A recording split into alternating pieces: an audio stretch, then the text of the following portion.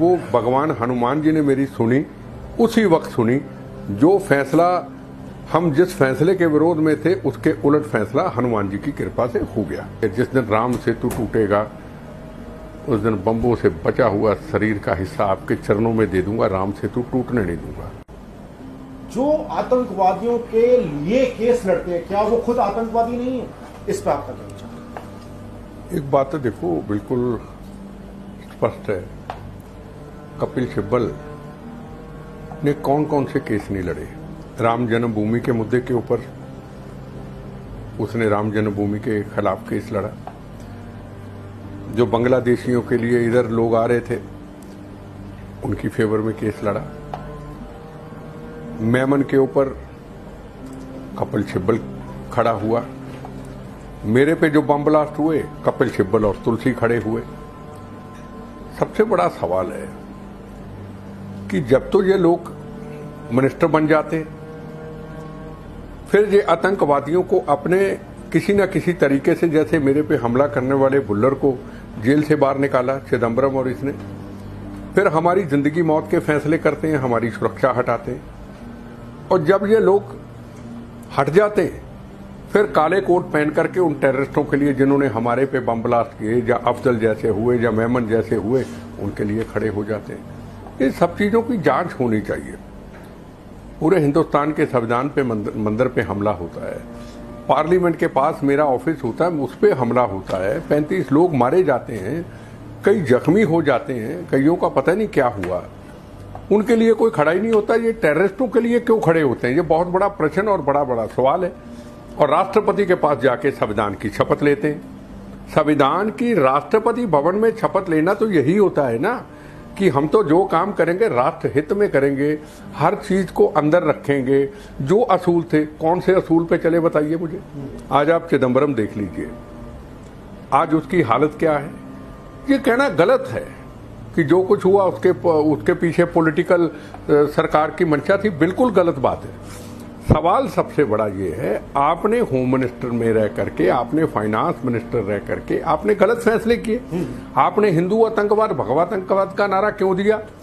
ये बहुत बड़ा प्रश्न और बहुत बड़ा सवाल है। सवाल में ना को बीजेपी की फेवर कर रहा हूँ, ना मैं किसी की फेवर कर रहा हूँ। मैंने पहले कह दिया था मैं कहा ये हिंदू आतंकवाद का नारा और भगवा आतंकवाद का नारा ही दिग्विजय सिंह चिदम्बरम छिब्बल इनको ले डूबेगा। ये मैंने इलेक्शन से पहले कह दिया था। मैं इसमें एक चीज़ पूछना चाह रहा हूँ जहाँ आपने हिंदू आतंकवाद और भगवा आतंकवाद की जो डिक्शनरी में जो अमेंडमेंट की वो करने वाले ये लोग आप क्योंकि अनेक कई सालों से आप स्थान स्थान देश भर में भ्रमण कर रहे हैं अलग जगह रहे हैं आतंकवाद के और उसी समय जो हिंदू आतंकवाद की डिक्शनरी में जो ये शब्द जुड़ा भगवा आतंकवाद हिंदू आतंकवाद वो स्वाधीन प्रज्ञा को लेकर के था। आज साध्वी प्रज्ञा सांसद बन चुकी है। आप आ, कहीं ना कहीं आप इतने लोकप्रिय हो चुके हैं कि आपको हर क्षेत्र का व्यक्ति आपको आमंत्रित करता है। और आप आरएसएस को राष्ट्रीय स्वयंसेवक संघ को जानते हैं। राष्ट्रीय स्वयंसेवक के लोग आपसे जुड़ते हैं तो आपको उनको जिस समय पंजाब में आतंकवाद था। उस समय उनकी भूमिका पे आपका कहना देखो मेरे एक बात स्पष्ट आपको कह दूँ। आरएसएस को शुरू से लेके आज तक उसको एक बदनाम करने की कोशिश की गई, जो मेरा अनुभव है। मैं को आरएसएस में तो हूँ नहीं।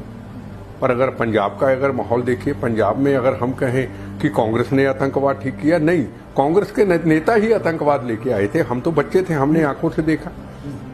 अब सुबह उठ करके कांग्रेस हो या आरएसएस हो अगर निकट खाकी पहन करके बंदे मातरम और भारत माता की जय की शाखा लगानी तो वो तो कोई पाप नहीं है। अब उसको आप नाम हिंदू दे दो, हिंदू क्या हिंदू हिंदू है तो हिंदू है, सिख है तो है, मुसलमान है तो है। अब ये कहना कि हिंदूवाद ये तो कोई तरीका नहीं।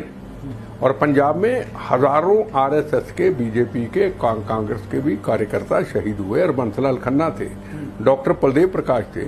हरियाणा के अंदर शाखा के ऊपर पूरी गोलियाँ चला दी गई बुडलाडा के अंदर चला दी गई लुधियाना के अंदर चला दी गई। तो सवाल है कि आज अगर आप देखो सरकार अगर बनी है तो जितने भी कई मंत्री हैं वो आरएसएस से निकले हुए हैं। दिमागी हैं उनके ब्रेन हैं। आरएसएस में जो भी व्यक्ति जाता है वो सब कुछ छोड़ के जाता है। जो मेरा मेरा मानना है मैं कोई फेवर नहीं कर रहा उनकी क्योंकि मेरा एक अनुभव हुआ। अनुभव ये हुआ बातें तो बड़ी देर से सुनते थे उनके कार्यक्रमों में कहीं ना कहीं ऑर्गेनाइजेशन उनकी जाते थे। मैं बीकानेर में गया। मुझे बुलाया गया कि कोई सीमा सुरक्षा मंच इनका एक संस्था है। हाँ है। तो बीकानेर में शहीदों का फ़ंक्शन था। मुझे नहीं पता ये सीमा सुरक्षा मंच आरएसएस का है। मुझे बुलाया देशभक्ति था चला गया। तो वहाँ के आरएसएस के कोई सीनियर लोग थे, वो भी मेरे साथ गाड़ी में बैठ के गए, डेढ़ सौ, पौने दो सौ किलोमीटर अट्ठालीस डिग्री टेम्परेचर हम बॉर्डर पे गए। वहाँ ना वोट है, ना सत्ता है, ना कुर्सी है।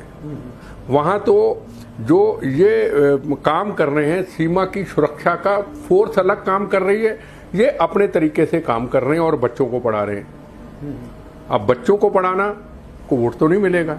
सीमाओं की सुरक्षा करना, आम आदमी बन के कार्यकर्ता बन के वोट तो मिलने वाला नहीं है। उन्होंने बताया कि हम 25 साल से भी ऊपर अट्ठाईस साल से ये ऑर्गेनाइजेशन चला रहे हैं और ये गुजरात के बॉर्डर के तट जो है, बीच में वहाँ तक ये काम करती है। मुझे एक चीज़ बताइए, हिंदुस्तान की कौन सी ऐसी पॉलिटिकल पार्टी है, ऐसी कौन सी संस्था है किसी का यूथ विंग है किसी का सेवा दल है किसी का महिला विंग है किसी का शेड्यूल कास्ट विंग है हज़ारों विंग हैं। हैं माना हैं हम टेली, टेल, टेलीविज़न पे डिबेट करते हैं। सीमाओं की सुरक्षा छोटे छोटे मुद्दों की सुरक्षा उन पे कौन करता है? वापस आया। जो चीज़ मैंने आँखों से देखी जिसमें कोई इंटरेस्ट नहीं, कोई उसमें वोट नहीं है, कोई उससे कुर्सी नहीं, किसी ने टिकट नहीं लेनी। कार्यकर्ता थे आरएसएस के कार्यकर्ता, अपना काम कर रहे हैं। सीधे से कपड़े पहने, सीधे से कहा ना कुछ आगे, ना पीछे, अपना घूमते जा रहे हैं। तो इसको क्या कहूँ मैं? अब इसको क्या कहूँ कि आप फिरका प्रस्त हैं? इनको क्या कहूँ कि आप भगवा आतंकवाद है? इसको क्या कहूँ कि आप हिंदूवादी हैं? वाई ये मेरा प्रश्न और सवाल है। मैं आज सिख हूँ। पर सबसे पहले मैं प्रथम राष्ट्र मानता हूँ। मेरे लिए भारत है। भारत है तो हम हैं। भारत वहाँ कमज़ोर है तो हम नहीं है। मुझे ध्यान आता है बिट्टा जी। हाँ। आ, जब राम सेतु की बात होती डॉक्टर स्वामी ने जब हियरिंग करके सिद्ध कर दिया कि राम सेतु जो है ये हमारी आस्था का विषय है। और मुझे ध्यान है कि आप उस समय राम सेतु गए। और वहाँ पर आपने मैं बताता हूँ। वो ऐसे गया मैं ऐसे नहीं गया। कोई एक होता है कि दिखाना लोगों को मेरी पहली बात तो वो आदत नहीं है। मैं आज सतारह साल से या अठारह साल से हनुमान जी बालाजी मेहंदीपुर के चरणों में जाता हूँ। जब मैं पहली बार गया था तो को ले गया, मत्था टेकने चले गए। मुझे नहीं पता था कि मैं भगवान से ही कोई सवाल पूछूँगा। उस वक्त देश के ऊपर एक बहुत बड़ा फैसला कोई आने वाला था जो राष्ट्र हित में नहीं था। तो मैं आरती करते वक्त हनुमान जी से पूछने लग गया। आँखों में मेरे आँसू थे कि हम आपकी पूजा करते। पूरा देश आपकी दुनिया में, हर हिंदुस्तानी आपके चरणों में रहता है। ये हिंदुस्तान के ऊपर आफत आने वाली है। भगवान कृपा करना। मेरा दोस्त पूछने लगा, रोक रहे हो? मैं कह, रुको, कोई बात नहीं। आरती हो गई, अमृत छिनका गया, गाड़ी में बैठे। मैंने कहा, रेडियो लगाओ भाई। अब मैं वो नहीं बता सकता कि क्या ऐसा फैसला देश के खिलाफ आने वाला था, पर मैं एक हिंदुस्तानी था। मैं एक भारतीय था। मुझे पीड़ा थी, मुझे तकलीफ़ थी। कि हिंदुस्तान की संस्कृति, हिंदुस्तान का कल्चर, ये सिस्टम में बहुत ज़्यादा नुकसान हो जाएगा। और वो हुआ बाद में। और देखा कि वो भगवान हनुमान जी ने मेरी सुनी, उसी वक्त सुनी, जो फैसला हम जिस फैसले के विरोध में थे, उसके उलट फैसला हनुमान जी की कृपा से हो गया। मैंने उसी वक्त कहा, हनुमान जी महाराज, जितनी देर मेरा बोनस का बम्बों का बचा हुआ शरीर का हिस्सा चलने के लायक रहे मैं महीने में एक बार आपके चरणों में शनि या मंगल को हाजिरी भरूँगा और अभी तक भरता हूँ। तो हम हनुमान चालीसा पढ़ना शुरू कर दिया, घर में मंदिर भी बना लिया। शाम को पाँच बजने हाथ धोने, गाड़ी रोकनी और पाठ करना शुरू कर दिया। हम नॉनवेज भी खाते थे, हमने वो भी छोड़ दिया। हम पुराने शिकार के शौकीन थे, वो भी छोड़ दिए। सब चीज़ें छोड़ दी। जब चरणों में लग गए तो छोड़ दिया। जब भगवान ने दो मिनट में मान ली तो मैं, मुझे भी तो उस रास्ते पे चलना चाहिए। तो जब मैं एक दिन सुना कि राम सेतु तो है ही नहीं। अब राम सेतु नहीं है तो फिर मैं सोचने मैं तो सीधा हूँ, किताबें तो मैं नहीं, लंबी चौड़ी पढ़ता। मगर राम सेतु नहीं तो फिर हनुमान जी कहाँ से आगे? फिर तू रोज मंदिरों में जो जाता है, पूरे देश में घूमता है तो ये राम जी नहीं है, हनुमान जी नहीं, राम सेतु नहीं तो फिर पाठ का है को करता है? मैंने पाठ करते करते फैसला कर लिया। मैं क्या हनुमान जी, राम जी महाराज जहाँ तो जो मैं आपके हनुमान चालीसा पढ़ रहा हूँ, या तो पढ़ना बंद कर दूँगा, आपके मंदिरों में जाना छोड़ दूँगा। हनुमान चालीसा पढ़ते पढ़ते मैंने कहा, आपके साथ मैं राजनीति नहीं करूँगा। या तो राम सेतु टूटने नहीं दूँगा, या फिर आपके मंदिर जाना छोड़ दूँगा। मैं मैं नहीं, ये कहा, आपसे राजनीति नहीं करूँगा। मैं उन्हीं दोस्तों के साथ जो मेरे साथ कई साल पहले गए थे, सतारह, अठारह साल हो गए तो हम चले गए राम सेतु। अब राम सेतु चले गए। हमने वहाँ इक्की कुओं का स्नान किया। हमने स्नान करके इक्की कुओं का वहाँ कह दिया, जिस दिन राम सेतु टूटेगा, उस दिन बम्बों से बचा हुआ शरीर का हिस्सा आपके चरणों में दे दूँगा, राम सेतु टूटने नहीं दूँगा। चलो, वक्त गुजरता रहा। अब मौत से जब दोस्ती कर ली, नींद ना आए। अब मौत आएगी कैसे? को मुझे मारेगा, मैं मरूँगा, क्या होगा? मुझे मुझे कुछ समझ नहीं आ रहा था कि मरना तो अब है।